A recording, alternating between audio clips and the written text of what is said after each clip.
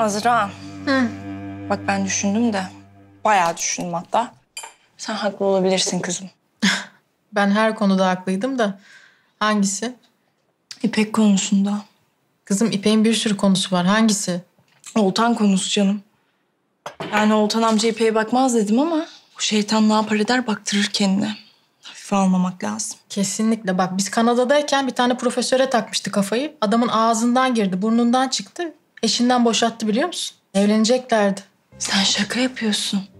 Ee anlat bakayım sen şunu bana bir. Ya olmadı çünkü adamcağız öldü. Kalpten gitti. Ama gitmeseydi nikah basacaklardı. İnanamıyorum. Ay inanamıyorum bu kız var ya. Bu kız şeytanın ta kendisi ha, ben sana söyleyeyim. Bir de bizim şirkete girdi şimdi. İyice bırakmaz Oltan amcanın peşini.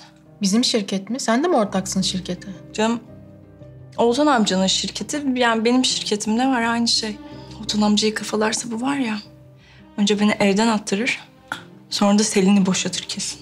Yapar o şeytan. O şeytandan her şeyi beklerim ben. Peki de amacı bu Azra. Hı? Başından beri böyle bunu kurguluyor, bunu planlıyor falan olamaz mı? Böyle bir şey olabilir değil mi? Olabilir. Allah'ım, Allah'ım benim nasıl aklıma gelmedi? Benim nasıl aklıma gelmedi bu Azra? Ya Serra, sen de uyanık geçiniyorsun ama hiç uyanık değilsin biliyor musun? İpek'ten önce sen tavlayacaktın Oltan'ı. Ben. Evet. Babam yaşında adam be. Ne olacak olabilir yani.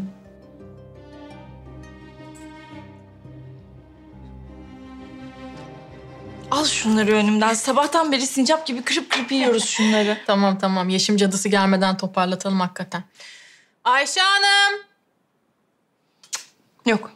O Oltan işi olmazdı zaten Azra. Ya adam benden hiç söz etmiyor bir kere. Tamam illa aşık olması falan da gerekmiyordu zaten ama... Ne bileyim hiç aklıma gelmedi benim ya. Zamanında Oltan amca demeseydim.